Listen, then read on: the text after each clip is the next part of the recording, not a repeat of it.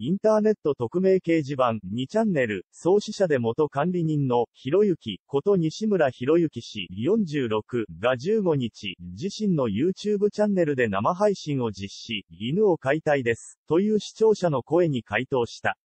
同配信は、スーパーチャット、スパチャ、と呼ばれる配信者への投げ銭機能を利用。スパチャで寄せられた質問に対し、ひろゆき氏が答える形で行われた。ある視聴者から、犬を飼いたくて、ペット科の物件に引っ越しをしました。ブリーダーさんがあまり、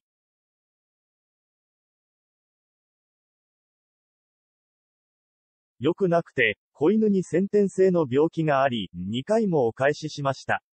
そのショックから立ち直れなくて、再び飼うことに迷いがあります。でも飼いたい気持ちもありもやもやした毎日を過ごしています。どうしたらいいですか？またいつかは別れが来ることも辛いという気持ちもあります、と質問があった。ひろゆき氏は読み上げるとすぐに、えーと、買うのやめてください。向いてないです、と怒りに満ちた表情を見せた。まずブリーダーから買うというのがどうなのかっていうのも。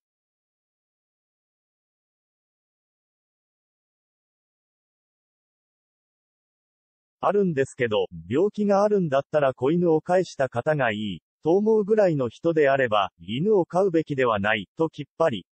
また、別れが辛いって、絶対に死にます。犬も猫も、と言い、病気がある犬猫は飼いたくない、別れが辛い、のであれば、やっぱりペット飼うの向いてないです、と首をかしげた。